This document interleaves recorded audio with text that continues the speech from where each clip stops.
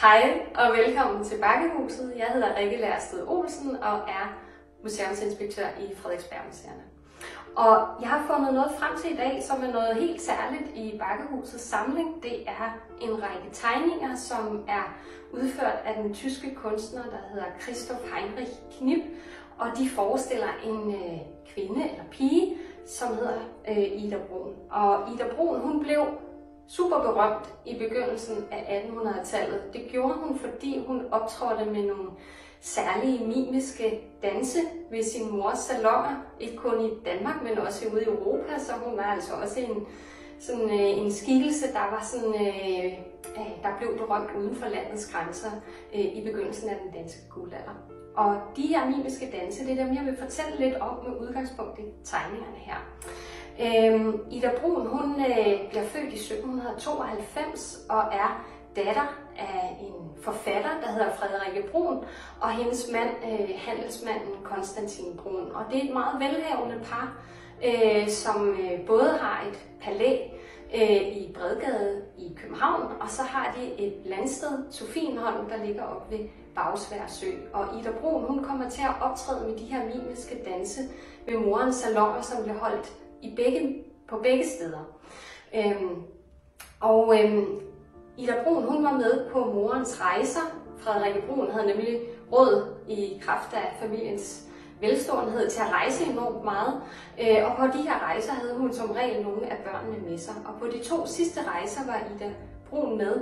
Øhm, den sidste varede i alt fem år, så det var en ret langvarig periode, de opholdt sig i udlandet.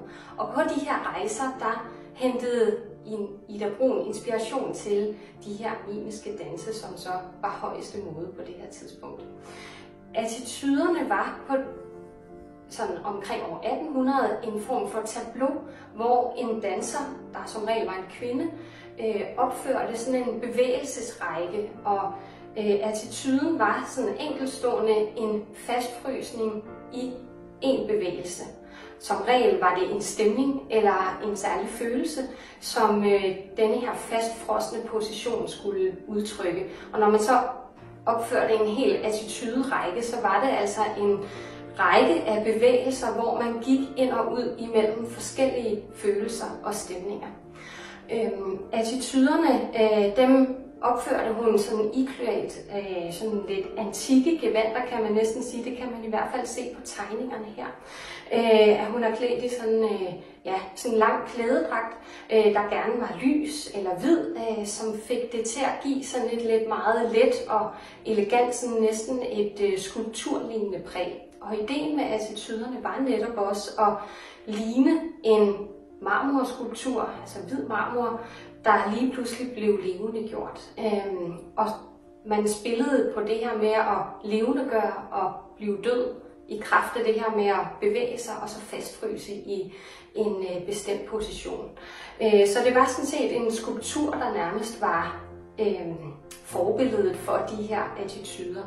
Øh, de figurer, som Ida Brun hun skulle efterligne igennem sine attityder, det var som regel hentet i den antikke forestillingsverden, øh, mytologiske skikkelser eller gudinder, man kendte fra den antikke verden.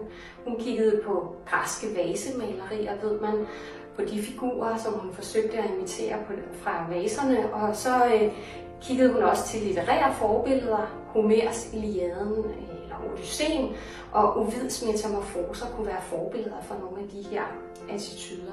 Og når hun så optrådte med dem ved salongerne, øh, så øh, sad de gæster, der kiggede på hende, så og skulle forsøge sådan, nærmest at gætte, hvad det var for en, øh, en øh, kendt dannet figur, litterær figur, hun skulle efterligne. Og jo mere dannet man var som publikum, des lettere havde man selvfølgelig ved at identificere, hvem hun efterlignede.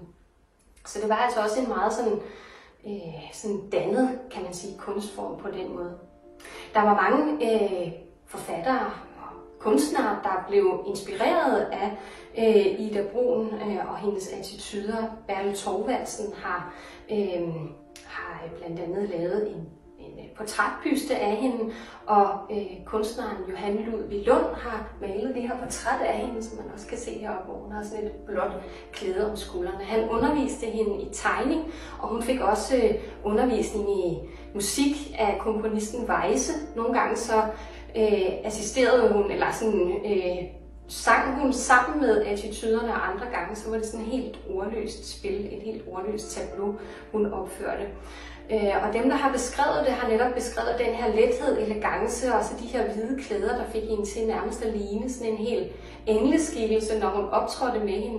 Og hun blev også en form for æstetisk ideal her omkring år 1800, eller indfriede i hvert fald et æstetisk ideal, nemlig ideen om denne her øh, pige eller kvinde, der sådan er sådan på et stadie sådan midt imellem at være det her uskyldsrene, naive barn, og så den her voksne kvinde, der øh, har en sådan, øh, er i gang med at få en bevidsthed om sin egen seksualitet og erotik. Og det ideal, det, var, øh, det blev i Ida Brun altså sådan et billede på den her øh, sådan meget øh, uskyldige øh, pige på vej til sådan at, at blive den her voksne modne kvinde. Og som man kan se, så er hun altså også i sin øh, sådan lidt... Øh, hun er sådan øh, lidt ældre end pigeskikkelse, kan man sige, her på Knips tegninger. Øh, Knip han øh, opholdt sig meget i Italien, øh, rejste blandt andet rundt med øh, digteren Goethe, og det er formentlig også i Italien, han har mødt Ida Brun og Frederikke Brun. Øh, hans tegninger kom til at indgå i en stambog, Frederikke Brun førte, som, øh, som findes her i Bakkehuset i dag. Tak fordi I lyttede med.